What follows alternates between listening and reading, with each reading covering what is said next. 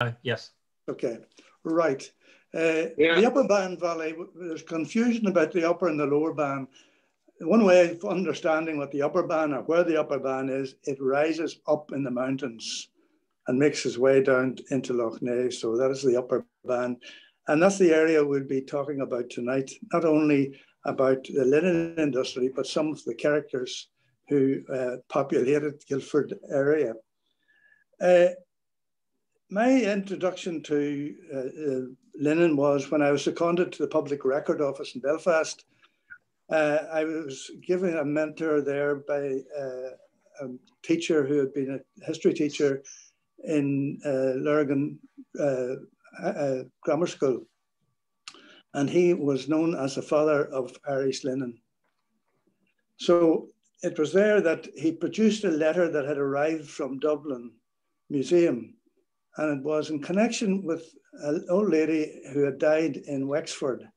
And as they were cleaning the house, she came across this chemise or little girl's dressing, and on it was a gold embossed uh, label entitled Gilford Mill. And I was asked to do a history of Gilford Mill for the museum. So that was my first introduction to the linen industry in the Bann Valley. When I was researching, I came across the title Linum Usitatissimum, linen most useful. And if you care to look up uh, your iPad and Google in, Google for uh, linen, you'll find out all the uses, which are quite numerous indeed. In fact, the use of flax with its textile fibers can be traced back more than 7,000 years, and it's the oldest manufacturing activity known. And we know that from the flowering plants that have been illustrated in tombs and temples in uh, ancient Egypt and Ethiopia. In Europe, it can be traced back to the Neolithic or New Stone Age, men living in uh, lake dwellers in Switzerland. For those who are interested in the Bible, one of the 10 plagues is identified as the failure of the flax crop. Ancient Egyptians used linen cloth for mummification of the dead for burial purposes. Worshippers were only permitted into temples if they were wearing linen garments. And the, their near neighbors, the Israelites, they used linen for priests' garments. So if we could have the first slide here would be the pulling of flax.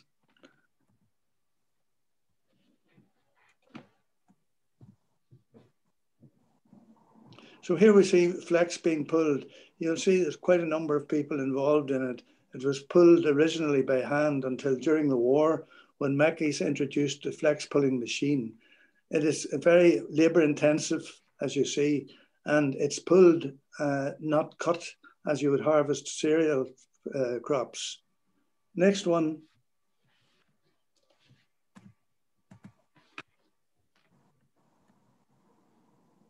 It's the introduction of the old Fordson tractor, bringing in the flax to be putting it to the dam for retting.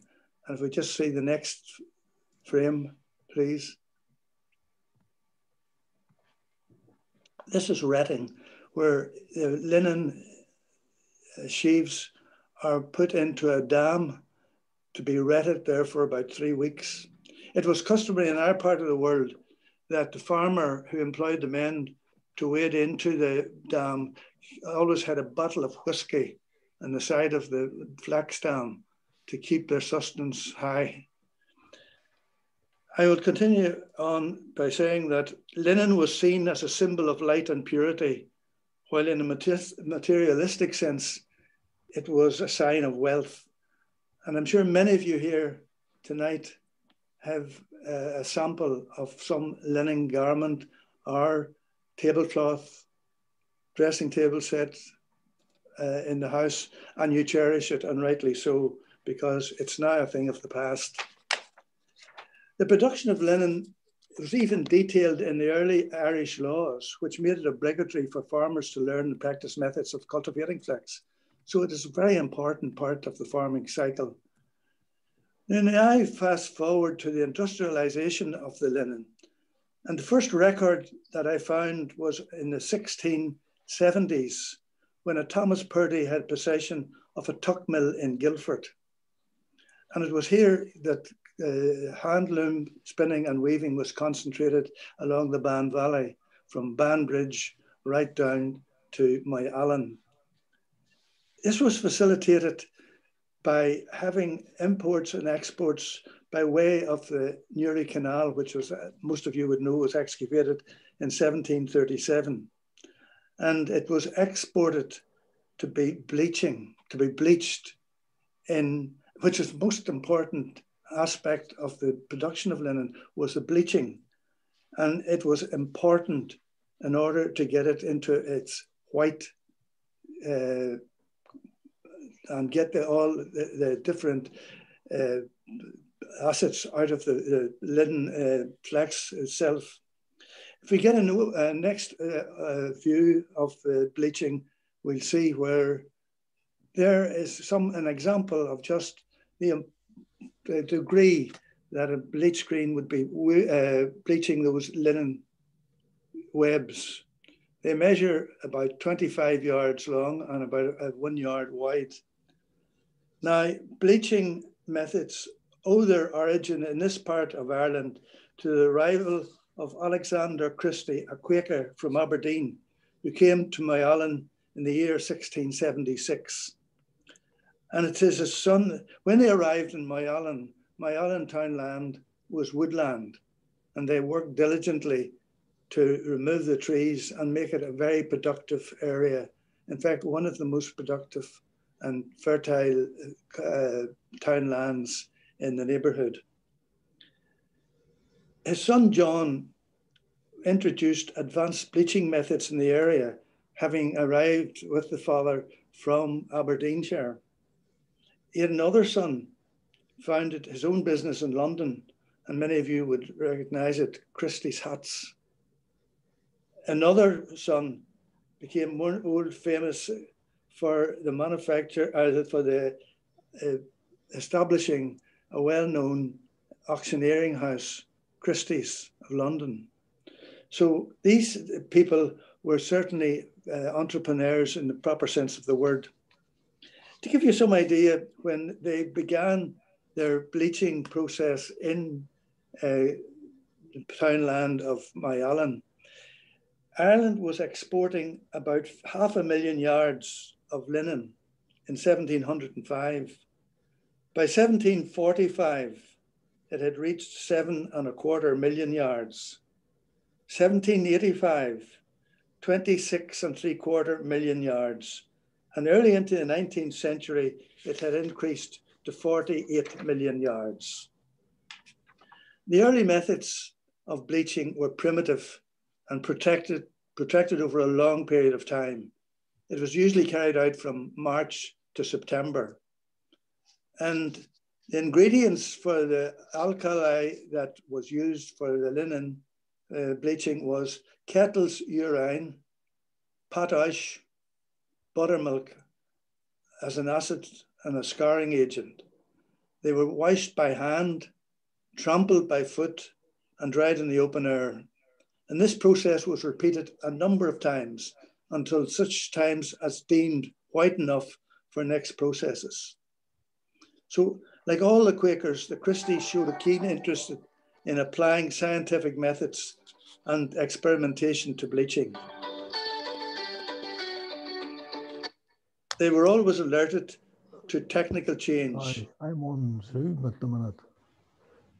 Hence, Christie's, a leading partner in Moyallen Vitriol Company, set up a, a, a works in 1786 and he invested 10 million pounds, which is a huge sum of money by today's standards.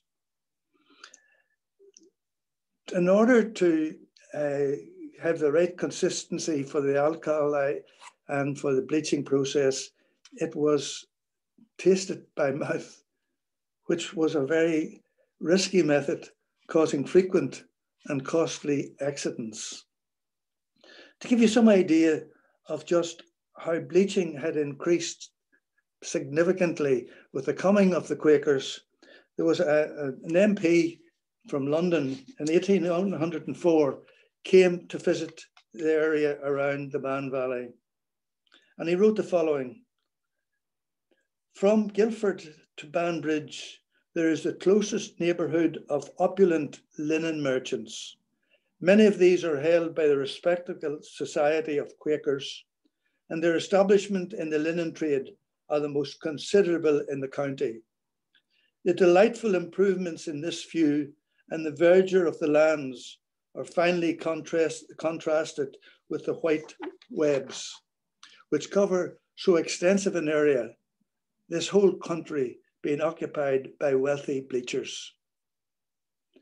By 1808, with the influence of the Quakers, who I have to say introduced friends and relatives and fellow entrepreneurs from south of the border, there were 20 bleach greens between Moyallen and St. Patrick's.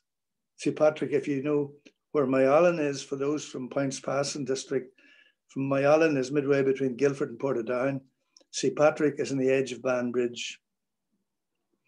By the beginning of the 19th century, evangelism was a force in Ireland, and many evangelists recognized the need to address the enormous challenges posed by industrial uh, capitalists. If you take, for example, Belfast, there's nothing but overcrowded, squalid, unhealthy conditions. So, through a variety of voluntary organizations, evangelists spurred by a missionary zeal organized Sunday schools, temperance movements, and Bible classes. And the temperance movement in particular spread, with many of its supporters being the merchants in the valley and mill owners who sought to promote class harmony and sobriety of their workforce. And that was particularly so in Gilford when we come to look at the establishment and the building of the mill in Gilford. One of Ireland's earliest Victorian purpose built small towns was Gilford. Gilford was built during the period of a man called Hugh Dunbar, evangelist and a Unitarian, and it was built during the period, this period. And the man had a deep religious conviction. He proved an ideal candidate for what were known as uh, paternalistic employers. For those who ever did Latin, you'd know the name pater means father. And paternalistic employers were treating workers in a fatherly man manner, especially providing for their needs without any great responsibilities. So Hugh Dunbar was an ideal candidate for this role that he was to fulfill when he started to build the mill. He was reputed to have been an exemplary, generous man who gave alms to poor and needy. And it was reckoned that he had about 100 people, 400 people to whom he gave alms every Friday. He began his linen enterprise in Gilford in 1834 on a 180 acre site that he purchased. People have often asked, why was Gilford chosen as a centre for such a huge enterprise? The reason being that from the earliest occasions, the 17th century, as I pointed out early, Gilford was the nucleus for the handloom weaving, and it was the canal that enabled them to export through Newry to uh, England and uh, to uh, Scotland. Dunbar subscribed to a strategy emphasizing that concern about human welfare of one's employees was morally desirable and practically profitable. So the, the two uh, go hand in hand. He attempted to provide decent working conditions in the huge mill that he built, and he retained, retained exclusive ownership of all the uh, buildings and uh, workers' houses. He was the son of a linen draper with a linen thread industry in Huntly in Banbridge, and he depended entirely on domestic spinning for his thread. Spread in 19, 1825, sorry, there was a, a revolutionary uh, process established in 1825 in Preston in England, and that was the wet, wet spinning process. In 1834, the competition for mill spun yarn and thread compelled Dunbar to either erect his own spinning mill or go out of business.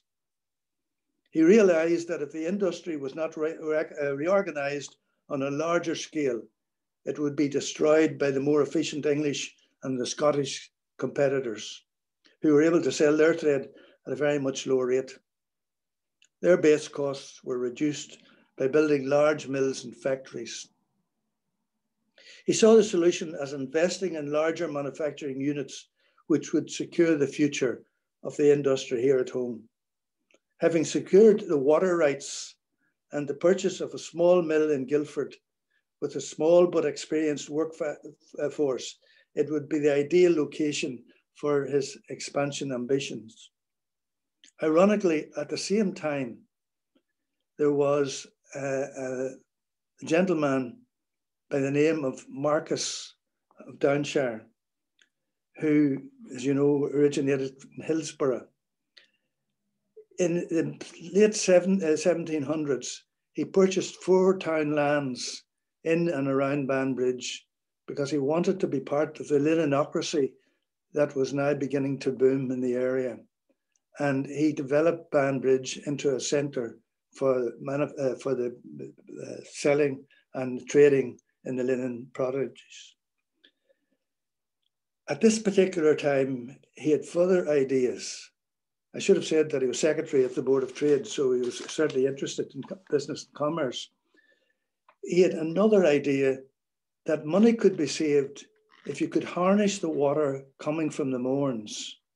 Because, as you can well realize, if you're depending on water power, as Gilford Mill was once it was built, you would have uh, droughts in the summertime, and you wouldn't have that constant flow of water that enabled the turning of the turbines to get, propel the machinery in the mills and factories. So he set about organizing and uh, promoting Banbridge Reservoir Company.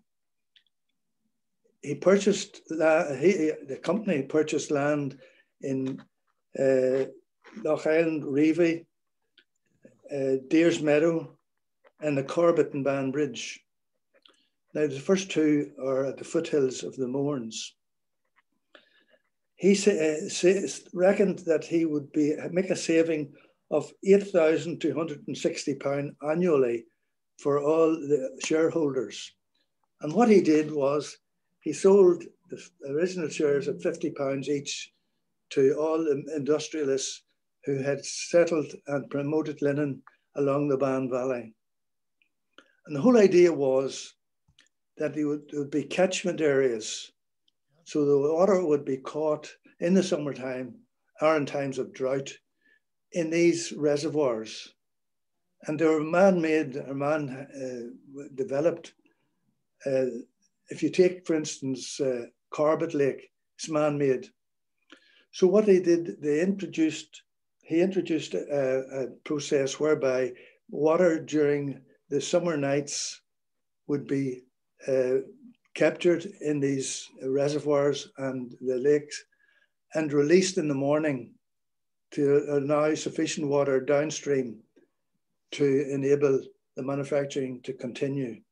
And that was a great pro uh, uh, process in, for these industrials who sometimes had to close their works during the summertime for lack of water. The idea now was how were you to pay for the water? You couldn't have this process going unless there was some a cost factor in it. And Hugh, could we get the next slide, please?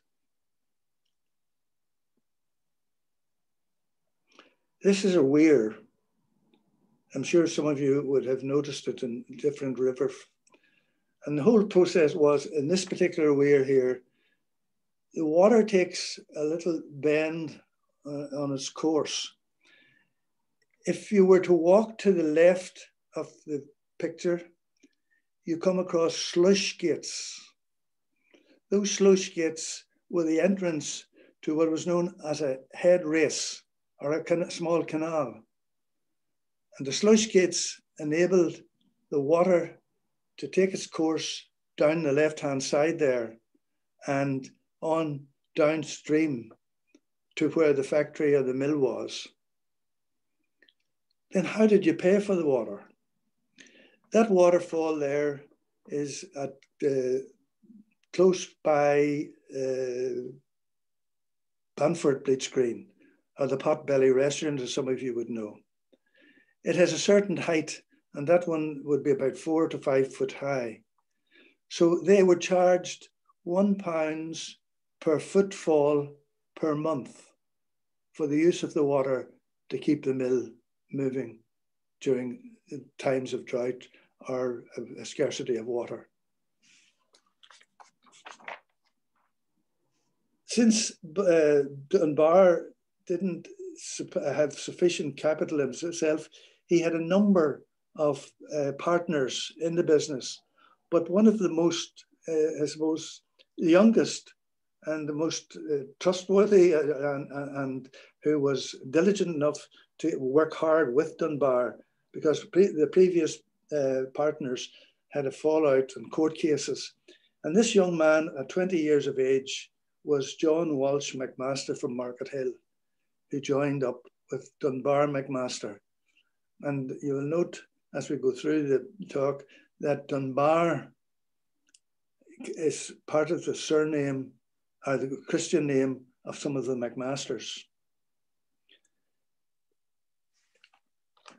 I now go uh, to just give you an idea of what the factory inspector said about Gilford Mill in 1846, which was in the middle of the famine.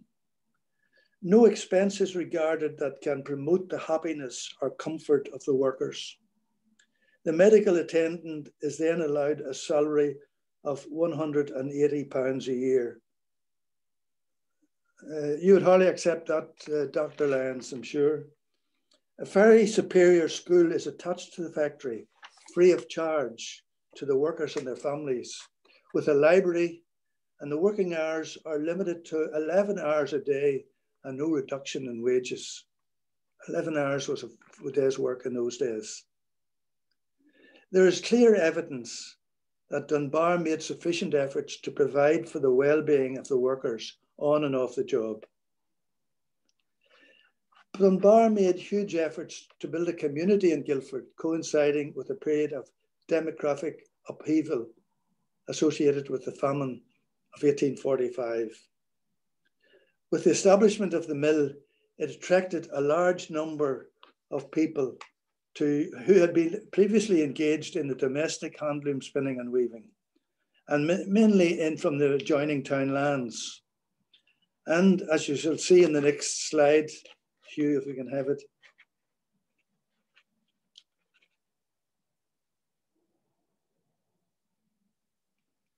Here is, uh, it's a watchtower. Could we go on? I think we have missed uh, one or a wrong sequence. Uh, what what slide are you looking for? I'm looking for the, the, I'm looking for the census figures. Oh, right, okay, yeah.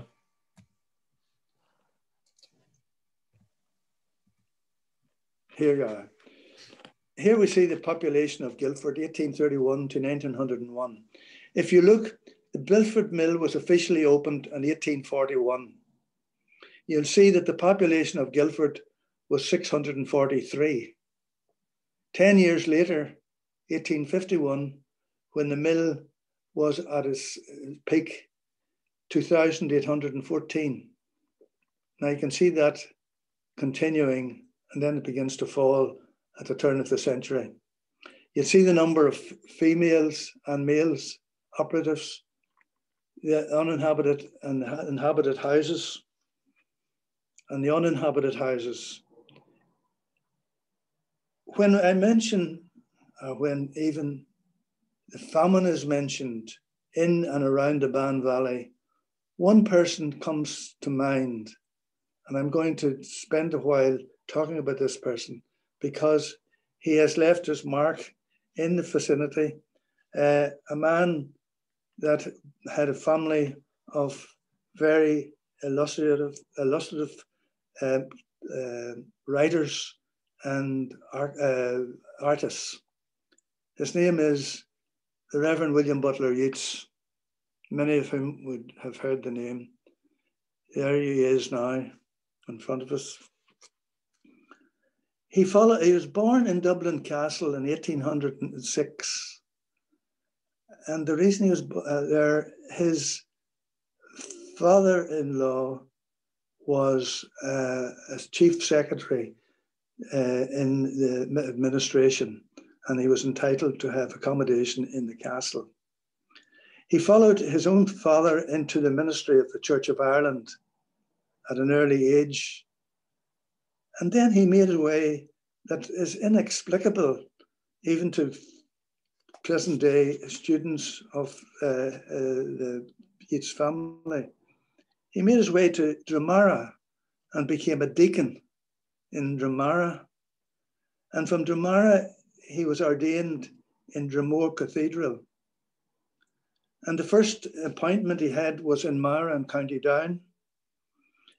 The vicar there had approached the bishop and asked him, could he provide him with a curate? And when the curate arrived, he looked at him and he said, I sent for a curate, not for a jockey, because he arrived on a horseback and he is following the father who was very much involved in sporting. The father was a rector in Drumcliff in County Sligo and he was fond of the good life, hunting and shooting and horse riding. So when he saw the, he brought his horse with him to Moira and said, it was a curate I want, not a jockey. And he was known as the red-haired rector from County Down, a good man on a horse. He never was accepted in Tullylish. And this change came about, or his attitude came about as a result of workers coming into Gilford, into Tullylish, and into the area. There was an influx mostly of Presbyterians. And he saw his church as that of the Anglo Irish settlers, that of Jonathan Swift, Oliver Goldsmith, A.J.R. Stewart, Isaac Butt, he found Tullylish to be in, uh, lacking in intellectual companionship. His view was that the new wealth that was brought into the area didn't respect his spiritual values, his traditions, and his beliefs. As his son would have suggested, who was John uh, Butler Yeats, he said, My father made an error of judgment.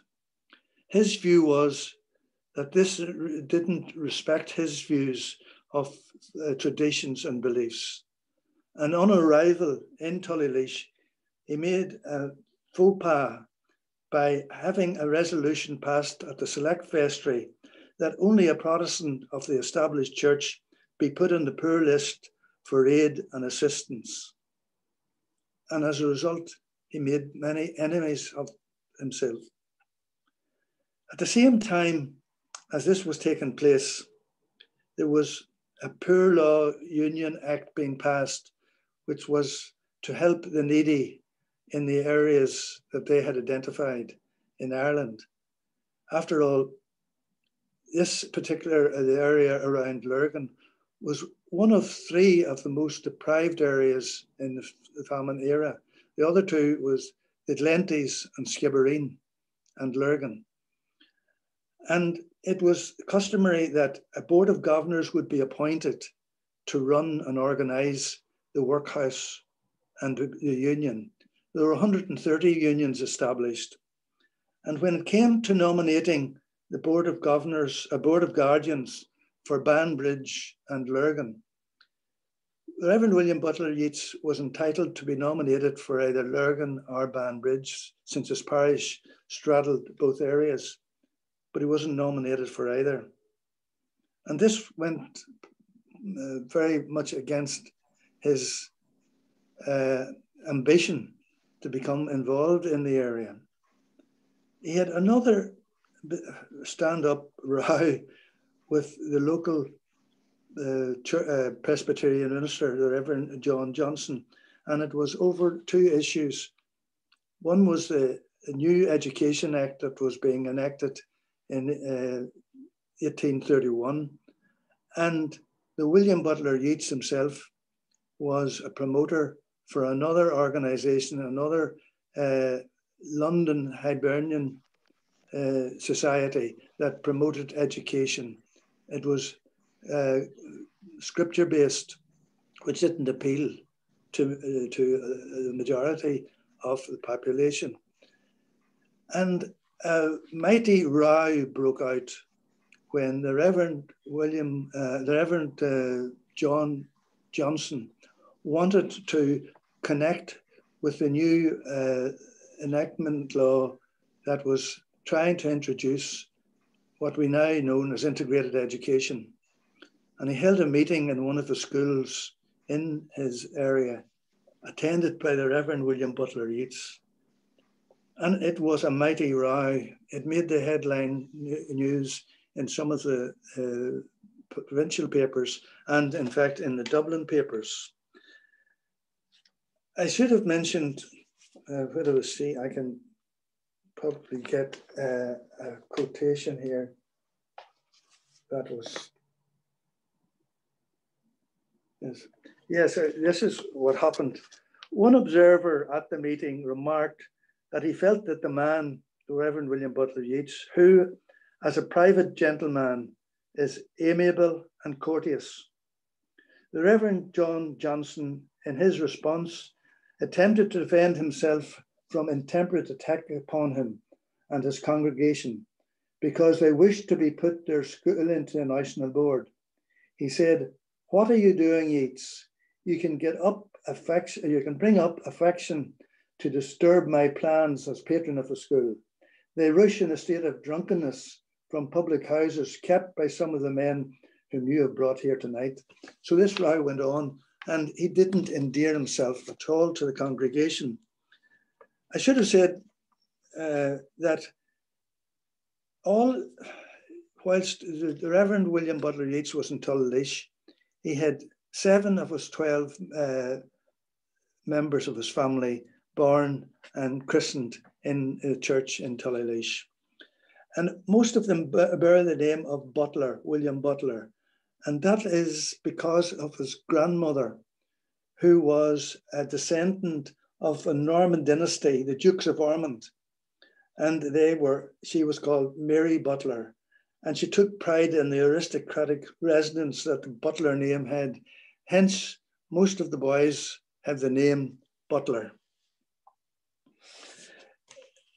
Uh, some of the adjectives used by the, the uh, those who wrote biographies they didn't write one on him, but most uh, family members. Uh, Yeats, The Man in the Masks, was written by Richard Ellmann. And he says his parishioners in Tullylish were far from respecting him for his piety and humanity. He was a very stupid man, self opinionated, and his parishioners were delighted to see the back of him when at long last he departed from the county of Down. I must say that's harsh, with no evidence whatsoever, and you'll see how a transformation took place during the famine period. He was a complex character in his own right, and some of the biographers have used the following adjectives to describe him controversial, stupid, opinionated, amiable, kind hearted, affectionate, genial, brilliant, intemperate.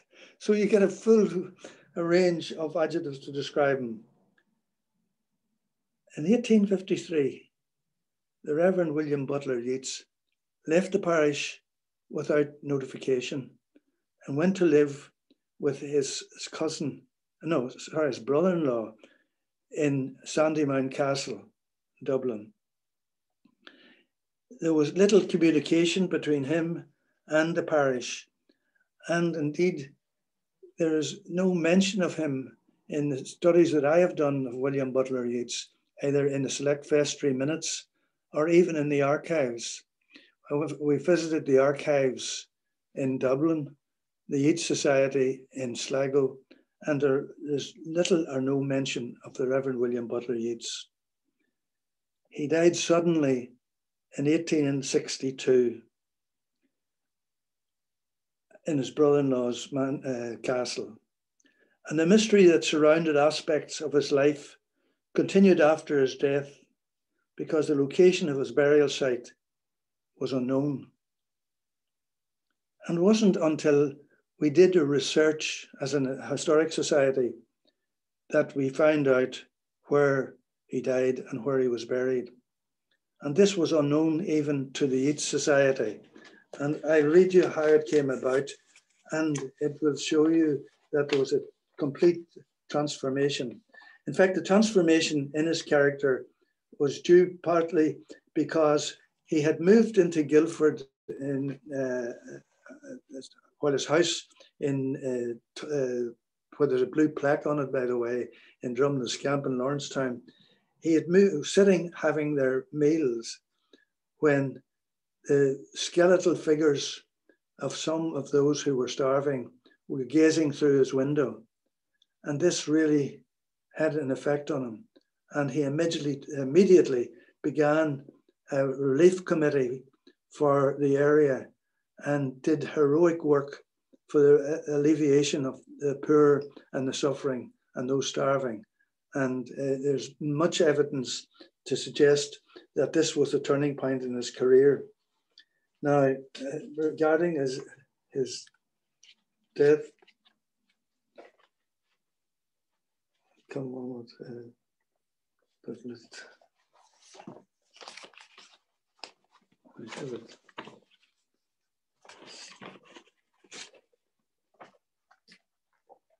Here we have it here. Sorry, sorry about that.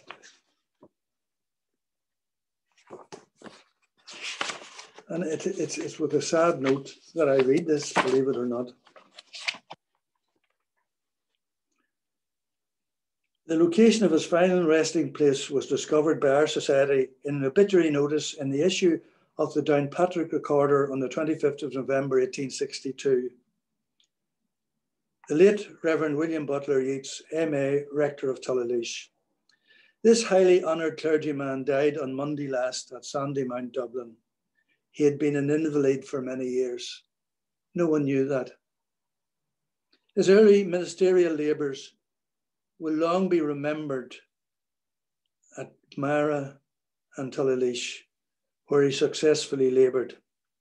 His gifts were abundant natural and graceful eloquence, winning adoption to all classes, and most unselfish devotedness to all his duties distinguished him in his pastoral life. And this is interesting. He taxed his physical powers too severely.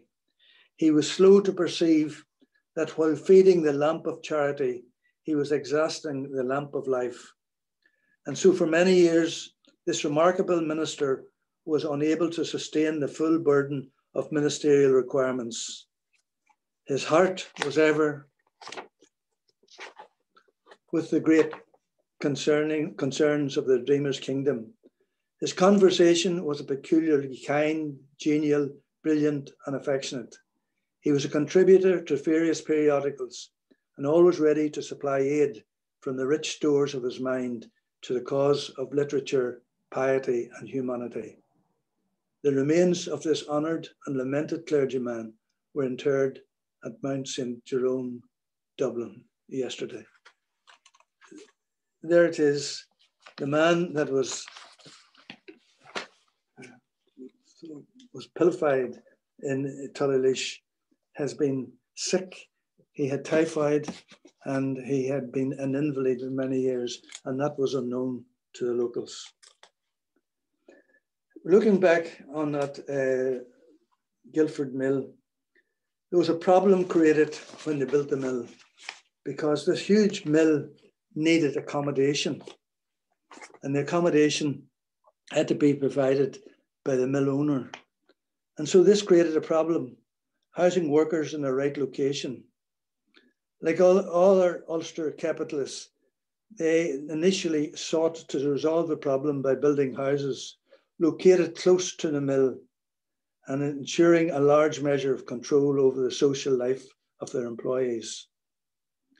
They also introduced the cooperative society. They had shops, grocer shops. Hugh Dunbar began building these houses over a period of time and it's reckoned that he spent in the region of 10,000 pounds building 20 or uh, 200 houses. And here we see the houses in Keady Row, which is just overlooking the mill. You can see them, they're two up and two down. And the occupants were from Keady and County, County uh, Armagh, hence the name. So many people from Keady lived in that row. They called it Keady Row, or as Dr. Lyons would have heard them say, Kitty Row. Monaghan, Cavan, Tyrone, Fermanagh, and in a number of cases they came from as far away as Cork. There were two types of houses. There were these houses that was built by the mill owner, and there were the houses that other uh, entrepreneurs built who were developing houses, but were of lesser quality than the mill houses because they insisted that the houses were uh, they were inspected monthly by the owners, annually limewashed or whitewashed, painted and repaired at the firm's expenses. Before his death in 1847, the original owner and founder, Hugh Dunbar, converted a number of these houses in Keady Row into a fever hospital under the supervision of the local doctor, McBride. There was an apothecary or a, chemist shop and when I was interviewing people for the history of the Gilford Mill, this lady said that her father brought her as a child out to Gilford from Enniskillen, and they got the dead house. The dead house was the uh, uh, what do you call it? The mortuary, and it was exclusively for that use. In his kindness and goodness, Dunbar gave a site on Castle Hill for the building of a Catholic church. He gave land to the Presbyterian Church and the Methodist land for their church. The Church of Ireland, however, had to wait a number of years, and it wasn't in any way sectarian. It was because there was a Church of Ireland where the Reverend William Butler Yeats was rector, just a mile from the church, and they thought that that was sufficient distance for enable them to uh, plan uh, to spend their uh, time in their worshipping, but walking a mile. So in 1865, the uh, survivor of the, entrepreneurs, John Welsh McMaster, he gave it land for the church and the vicarage as well. Dunbar, true to his state in life, he built a school for the uh, folk in Gilford at a very early time during the famine period. And there we have Gilford Mill School. Uh, it was the cost to the firm of providing the three school uh, classrooms, uh, teacher salaries, fire, light, daily cleaning, repairs, annual painting, and lime washing was 104 pounds. That school was one of the early schools, and it was singled out by the inspectorate from Dublin when they said that nearly 2,000 hands in their spinning mill and factory, they have erected a commodious schoolhouse for the instruction of children, boys, girls, and infants during the day, and for adults and such as could not attend the day school in the evening. In the several departments of which there are 125 boys 98 girls and 61 infants. So quite a total. And they were receiving a most efficient education and moral training. So that was the building of the school. They built the houses. They built, give land to the church for their building. There's a,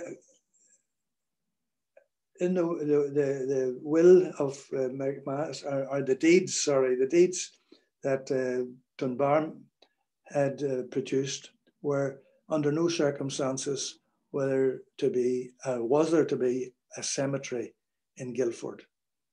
And I can understand that the, his house he built was on a height, a lofty height, and he had been looking, had been their individual cemeteries who had three to four cemeteries looking into it. Instead, his view overlooked the mill that he could see what was happening. During this period of time, the mill was flourishing. It was flourishing to such extent that Industries of Ireland, that was a, mag, a, trade uh, magazine, said that it flourished beyond measure and the firm made money in tubfuls. During this particular period, again, there's evidence of this, for several of the partners built large mansions in Gilford, and the industrialists built them up the valley as well. And if we can take the first one here, Hugh.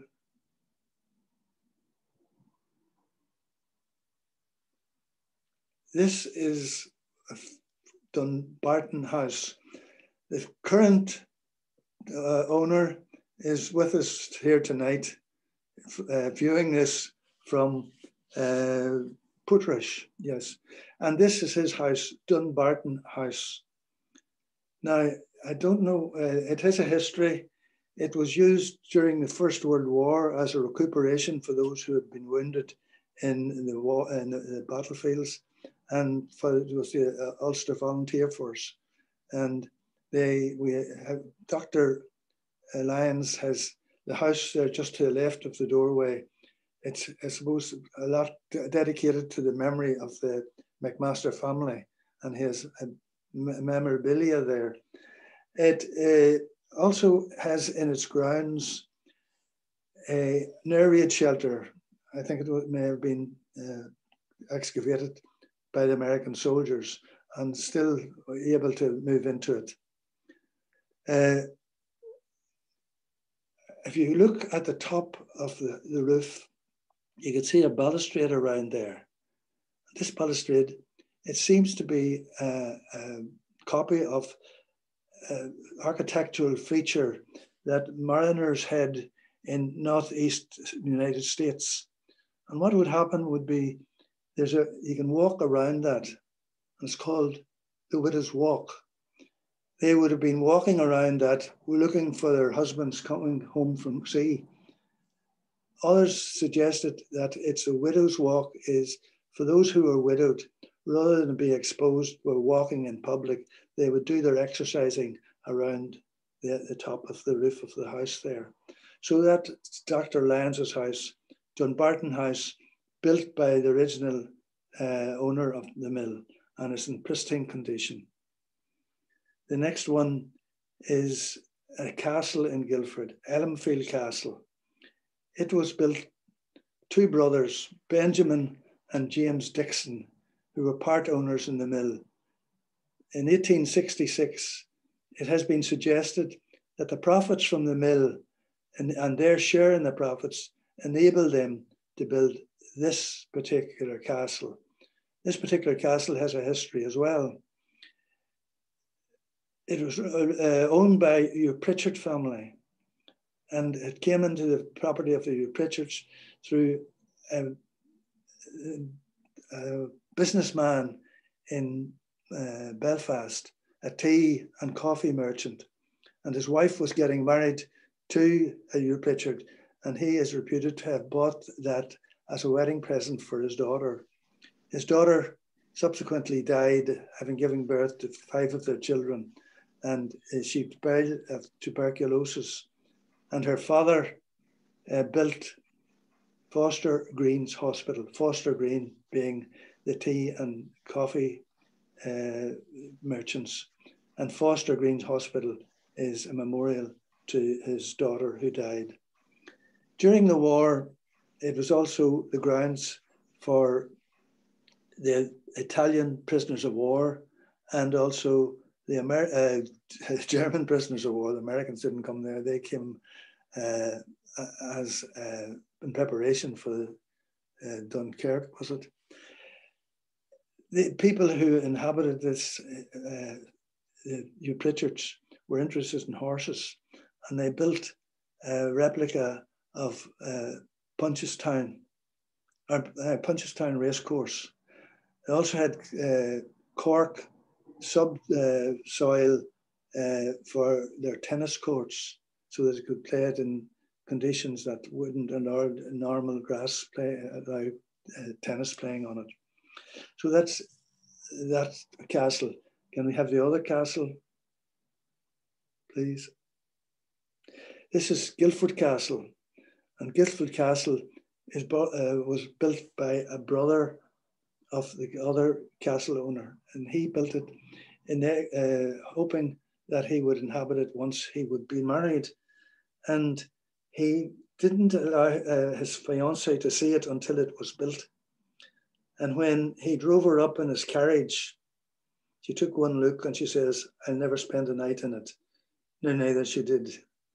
And uh, it is passed, it's now passed to a new owner uh, who is set about uh, renovating it at the present time. So you had those three houses associated with Gilford Mill, together with all the other the workers' houses as well. So there's plenty to see around Gilford if you ever come around there for a drive sometime. By 1867, there was the building and all had ceased, and Gilford now, and the, uh, we'll concentrate on the leisure activities that were provided by the mill owner. Leisure activities in Gilford reflected the concern for working class self improvement, but they were gender specific everything was that I could find were uh, for men only. A young man's mutual improvement society, lectures for the young men on scientific and useful subjects, and they were given by influential public figures in the vicinity. A man's room, library, public lecture room. Uh, the only thing that seemed to be uh, open to the girls uh, with the swimming pool, and we'll see the swimming pool in a moment or two. They encouraged and provided cricket facilities, boating, handball, and football. Gymnastics were fostered and encouraged. Interesting story that one of the McMasters, is one of 12 children, he got his place on the MCC, the cricket team, on their tour to South Africa. He was put into to bat in the first wicket, uh, in the first innings and the first wicket. He was out for a duck if we can see the that's the, the, the one before that, I think.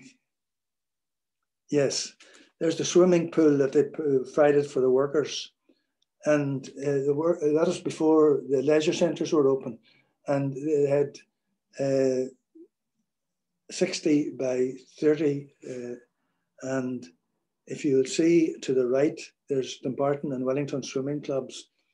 There's an error somewhere in that. You'll see, notice there, I can't ask you to reply because we're on mute, but you'll see that they held international swimming in Gilford uh, every August. And you'll see that it says stars will complete against Irish international swimmers. So there you have the swimming. And next slide, I think time is pushing on. The, we saw we did see the the Barton Bowling Club, and here we have the what a wet spinning, and I'm I'm ahead of myself now. If we could just dispense with that for a moment. I must have given you the wrong order. Yes, the, these are workers leaving the mill to go home and you can see on the right, young boys with their bare feet. I'll go now to just, I think time is moving on. The grandmothers would have been down at the factory, uh, the mill gate, uh, uh, with their children in arms at lunchtime, waiting for the mother to come from the mill and feed the children, and then they would return home afterwards. So there was no such thing as a national health scheme. What they did have was a scheme where you were given, uh, taken a penny per pound out of your wages towards a, a fund to uh, deal with the, those who were on sick leave or those who had died. And they had an arrangement with the Royal Victoria Hospital for those who needed specialist treatment, and that was free of charge. So, in all, they, these uh, were employers were really kind and good to their employees. The harsh words would have been saying about them, but uh, there's no evidence to prove that they were in any way treated as slave labor, for it didn't happen. An interesting thing happened after the American Civil War. The American Civil War brought great prosperity to the mills on the Bann Valley. They had, as you know, there were two competing armies, and the cotton fields were the theatres of war, and there was limited supply of cotton for the uniforms and all the necessities of war. So what they had to depend on was the imported linen uh, from Ireland. After the war was over, the Americans imposed a tax on imported linen, and that left them at a, uh, the Irish uh, uh on, entrepreneurs at a disadvantage they followed the example of Barbours of Lisburn. They went out to America and bought a factory and started to manufacture the thread and the yarn. And so McMaster's, with two of his sons, set off to America and uh, went around the states around New York until eventually in Greenwich, Upper New York, they got a factory for their purpose of bringing over the machinery and starting uh, uh, linen uh, thread and yarn in uh, Greenwich, with the result that a lot of emigrants went from Gilford out to Greenwich, and they still there's still the connection between Greenwich and Gilford. Now, there is a book, two volumes of a book by William Ruddock, whose great grandfather left, and he has taken the names of every uh, worker who left Gilford and went to live in, in Greenwich. And there are two volumes of that. I'm skipping through it because time is uh, nearly up for us. They, an interesting thing happened uh, in 1895, they got 300 tons of coal delivered to the Madden through Newry and the Newry Canal. And it was priced at 10 and 6 a ton, which the factory owners refused to pay because they thought it was inferior coal. So they wrote back and said they got an independent survey done and that the coal was only worth seven and threepence per ton and they sent them a check for the seven and threepence per ton for the 300 and told them if it wasn't accepted, then they would start charging rent for its storage at the Madden station. At this particular time, Industries of Ireland stated that the enterprise in the Bann Valley in Gilford Mill is an establishment which, in our opinion, is quite unsurpassed in the British Isles in the completeness of its resources for all the processes of the industry to which it's devoted. Give you some statistics. Fine thread that was uh, for embroidery that was woven in Gilford Mill was sold by weight. And a weight of the finest thread stretched approximately 36,000 yards, which would be nearly 20 miles. And the yarn produced in a week was 75,000 miles, which would be five times around the earth. Another interesting character I can't leave you without mentioning is a Jubilee Nursing Society. And on uh, 1901, a Jubilee nurse arrived in Gilford called Annie M.P. Smithson.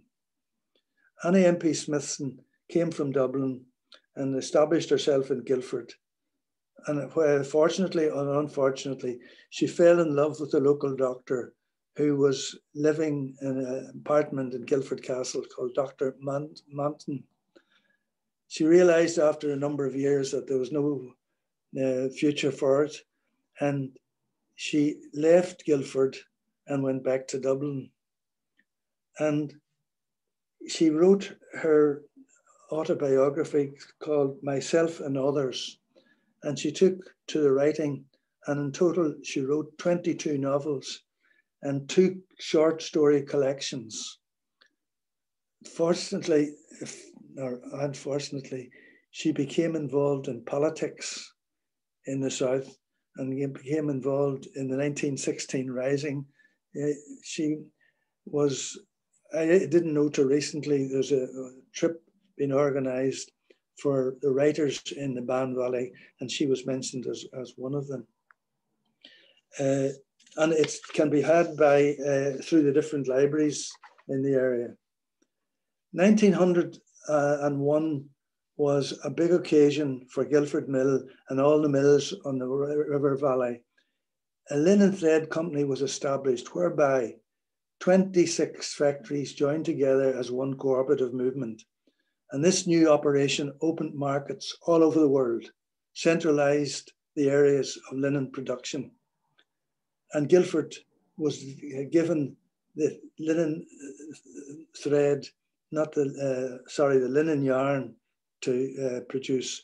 And their speciality uh, was linen thread, that linen thread that I told you about, like gossamer spread, thin spread thread, and uh, used for purposes during the war for wings of airplanes. That's the First World War. Uh, in 1907, uh, the, the dynasty of the McMasters uh, came to an end McMaster died and uh, the name McMaster no longer exists. It is uh, during uh, the uh, post-war, it did have times of great business transactions, but eventually, with the coming of man-made fibers, the industry and linen, as you all know, came to a sudden death in the late uh, 1980s, as a case in Gilford, was one of the last. It uh, if we could go back, uh, no, forward again, uh, all that remains in memory of the McMasters is this lamp, uh, uh, originally gas, and its faith, hope, and charity was christened to be in keeping with the religious tradition of uh, the owners of the mill. Can I say that uh, another episode that happened, and I, I uh, will tell you about now. In 19 and 20, the auction, uh, the financial uh, advisor in the mill, who was the uh, secretary as well, he made his weekly journey to Banbridge for the wages. He was driven by a William Madole from Gilford, who was happened to be a Protestant and a taxi driver and a mechanic. The William McConville was the secretary and he was a Catholic. Two of them were coming by motor car from Banbridge to Gilford. And as you approach Gilbury Fair, they noticed that this car was stopped and the driver had the bonnet up. And uh, William Madole said to William McConville, We'll stop here. And William McConville uh, had a, a bag with £1,309 being the wages for the miller, mill workers. And as he approached, McConville advised him not to, that he was sitting in the back seat shivering with a hope that nothing untoward would happen. Uh, Madole, being kind hearted, stopped the car and jumped out to help. Whereupon William Conlon, one of the three boys who were in the car, produced a revolver and shot Madole in the neck and shot him dead. It took McConville and threw him over the wall, and McConville arrived rolling down the bank to the edge of the river. The three boys, one was McCon, uh, a local, one was O'Boyle from Beragh, and one was Rogers from Six Mile Cross. They were subsequently caught and tried in 1921 and were reprieved, whereupon they were retried in Victoria Barracks and sentenced to life imprisonment. In 1927, uh, by the way, uh, McConville was tried, but he was found innocent. In 1927, they escaped from uh, Crumlin Road Jail, and Colin was caught uh, on the Falls Road. The other two boys made their escape to Dublin. Colin pleaded with uh, his plea was that he had been to America and he was a nationalized American. The other two boys, O'Boyle and Rogers, they there was no extradition treaty, and they were released in Dublin. Afterwards, as one would imagine, the relationship in the mill wasn't good because of the dastardly act of William Madole being killed. But at least it was very short time afterwards, common sense prevailed and normality returned to Gilford Mill. But it was an episode that uh, caused a lot of hardship and caused a lot of uh, well, ill feeling in the vicinity. But thank God that that day is over and gone with. But it's a thing that uh, an event that is seldom known by, by locals, but maybe it's because of the fact that it was sectarian in its nature, but there was never, money never was found. And uh, those, Colin was reputed to have been murdered by the mafia. He, returned to America, but he died natural causes in uh, 1944. So I, I, thought that would be interesting to tell you. And uh, the spinning, the girl at the spinning mill, uh, if you can see it. Yes, this is a wet spinning where the, the temperature in there, uh, the water would be 80 to 100 degrees. And this had a severe uh, impact on their health. They were breathing in pouce. They had uh, hot atmosphere going out into the cold atmosphere. People suffered from bronchial and respiratory complaints and also uh, the wet spinning, they had the warm atmosphere going out into the cold and life was pretty unpleasant at times. So I'm coming now to the end and I'm rushing it because I see that my time is up. But just to give you some other uh, interesting statistics, in the late 19th century, the average life expectancy of a mill worker was 46 years and 56 years, male, female. In mill working life was 27 and a half years, the, mill working life. For one uh, exercise in the mill and one uh, process, carding is particularly dirty and the working life expectancy for working there was 15 to 17 years. Life expectancy was non existent. Factory Acts weren't really enacted until 1891. And harsh reality of life was that the children were encouraged at school uh, to make a visit to the mill and to choose their occupation that they'd like because, uh, that they would enjoy, and they contributed to the families financially. Back from the noise. Sorry past time. Duncan. Yes. Thank you very much as I say, for that very, very interesting talk. Excuse me one moment. Turn the volume on. Sorry, my wife's listening here the other end of the table, so I'm trying to get that echo stopped. Yeah. Uh, but anyway, thank you very much, as say, for a very interesting talk.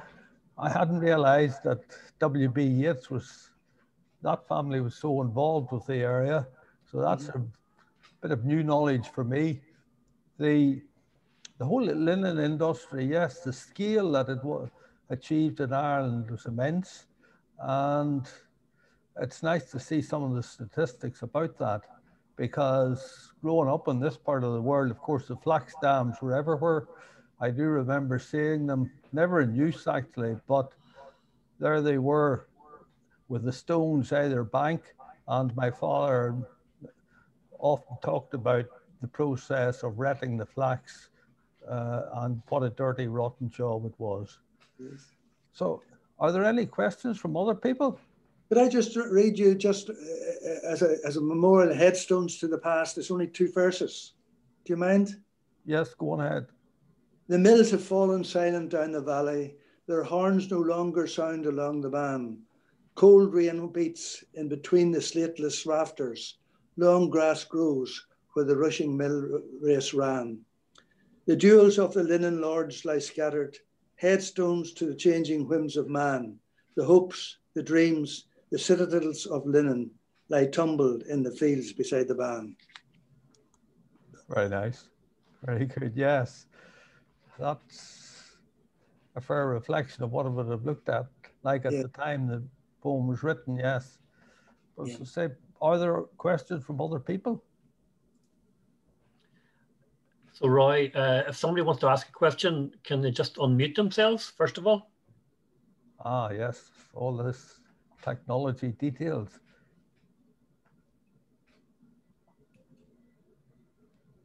Or put your hand up and we'll unmute you. We'll try to unmute you. Okay. Uh, um, my mother uh, there's worked in Bessbrook Mill, I remember telling, but um, my internet was going on and off, so I might have missed, I might have spoke about it. But she, she was talking about uh, when she was at it, she worked at a damask weaving. I know it was, uh, I don't know whether it was similar to Bessbrook Mill to Gilford Mill, but did anyone know what damask weaving was? or? Yeah, yes, it was a pattern moving into the, uh, the, the, the fabric. Oh, right, right. Okay. Design it was the it was the elite. Oh, yes. yes, it was very good. Elite. Yeah. Yeah. Okay. Uh, question answered. Thanks very much. Sorry, sorry, I was I was late coming in. Apologise for that, but I maybe missed this. Maybe it was mentioned. Maybe it was mentioned earlier. But what's happening to, to the Gilford Mill now? Well, the Gilford Mill, the future looks very rosy for Gilford Mill now. It has been bought by uh, an asset Carl Asset Management. And uh, the plans are, in fact, I, I have noticed they have uh, solar panels on the, the roof of it. It's a six-story building, as you can see. Yeah, I saw them. I know they spent money and they've done a lot of work there, but it seemed to do it seemed to do a lot early on, and then it stopped for a long time. that was years back. Yeah. Yeah, but now the, the plans are that there are six stories the bottom two stories uh, are for a garden centre. Right, good. The next four stories will have uh, eight, eight, eight apartments in each story. There will be a restaurant, and then hopefully they'll have the mill pond restored to its former beauty, and then they'll have a, a lot of nice, hopefully, uh, grounds, you know, tailored to suit walk for walks and that type of thing around it. So that's is that work going on at the moment? It is, or is, is well, it... I saw them. I saw them uh, on top of the roof, uh, uh, repairing the roof. Right. Good. Good. Good. Yeah. So uh, uh, I would have high hopes that it materialise. Uh, it's going to be brought back into the middle there again. That's good. Right. Yeah. yeah. Yes, well, certainly it would be nice to see Gilford Mill re well, I was going to say reinstated, reinvigorated with the West yes. yeah. and being a thriving centre for the village. So I look forward to that and hope it takes place pretty soon. And you'll come to the restaurant. Plunkett, uh, Plunkett, I've just got one question, one observation. The first yeah. observation really is is um, the walk around Elmfield Castle. I think the owner is still here, is he? It doesn't look like it's something that would pass health and safety inspection. Elmfield Castle. The walk around the, the walk around the, the, the, the rooftop. The rooftop.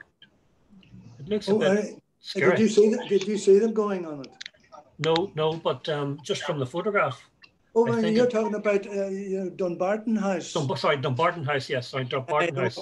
Well, I, I, tell you, uh, uh, Dr. Lance is here. If he'd come on, he'll tell you how how secure it is. For he he's the current resident in it. Can Dr. Lance? He's lost. Uh, he might have dropped. I don't see him. Yeah. Uh, so just while we're waiting on that, uh, uh, Plunkett, um, the uh, I noticed that the tower on the on the Elmfield Castle and the tower even on Gilford Castle, both those towers seem to are not unlike the, the tower of of uh, Clare Castle. So you know, at the start of the 19th century, was there a uh, was there a fashion to build towers on your on your big houses, even though they didn't really have any much of a functional purpose? Uh, I, I, don't quite know because uh, I know that uh, in Gilford Castle, no, Elmfield Castle, uh, it's uh, they they took the roof and all off Gilford Castle in order to avoid rates at one stage when that was the the custom, and there were trees growing up through it, and it been reinstated, you know, to well, it's, it's, smaller in size than the original was, but I I, I don't know uh, here. Okay. Dr. Lance is not there because to, to access the, the roof, you, you go through the centre of the house. you don't go from outside into the, the balustrade, the balustrade around it. All right. Okay. You talked, Plunkett, about the Bann Valley, and I suppose perhaps it's because we're from that part of the country that we think the Bann Valley was the most important in the linen industry. But was it equally important in the lower Bann or in other river systems? Well, I tell you, uh, there's a restriction on what they could do in the lower part of the upper Bann. From Moyallen to Lough Neagh, you couldn't bleach because the water the, the river ran through uh, uh, a sort of a bogland. You know, you'll see yeah. it there in uh, winter time in the floods, and that wouldn't be suitable for the bleaching purposes. But I always attributed uh, the, the, development of the linen industry to the the Bann Valley, and but if you if you go if you go elsewhere, you have the Myola and you have the Lagan. But if you're talking about the size and dimension, there are very few mills the size of Gilford Mill. Now, Richardson and Bessbrook, the gentleman there was speaking about Bessbrook, it's quite a sizable mill. Yes. I, I don't know what the labour force was, but at, at its heyday, the labour force in Gilford was over 2,000. Oh, where was it drawing? Was it a water driven mill? Where was it drawing its water from? The, the River Bann. Gilford, Are you're talking about uh, Bessbrook. Bessbrook. Bessbrook uh, probably it was a later vintage. Ah, right. Yes. Steam. Yes. Yes. Steam. Yes. okay. If there's no more questions, shall we call it a halt to proceedings, please, with our very, very grateful thanks to Plunkett for mm-hmm. such an entertaining and illustrious talk. Uh, we hope to see you all again for our next talk, which will be on the first Thursday of what's this, May? May. May. May. As I say, we'll let you know before then exactly who is going to speak then.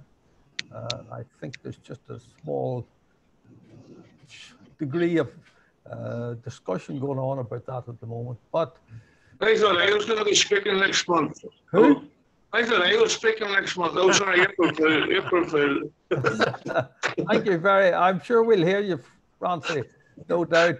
Uh, until we meet again, and to all those friends who we don't normally see in the Poyntzpass meetings and can manage to see online, it is brilliant seeing you all. So, Roy, can I say as well that before we hang up, that uh, for those who missed it and those who want to listen to uh, Plunkett's talk again, uh, we will be we, we have been recording this and it will be made available uh, on YouTube uh, and we will make the we will provide the link to our History Society um, Facebook page. So, uh, so if if you if you don't if you're not on Facebook, um, then ask somebody who is uh, to go to our our History Society Poyntzpass and District Local History Society uh, Facebook page, and you will get the link. It'll be on there in about a, about a week or two's time, about a week's time anyway. Okay. Okay. Thanks very much. Thank you. Thank you, Hugh. Good night, everybody. Right, Thank right. you. Thank, thank you very much. Okay, bye. Bye. Bye.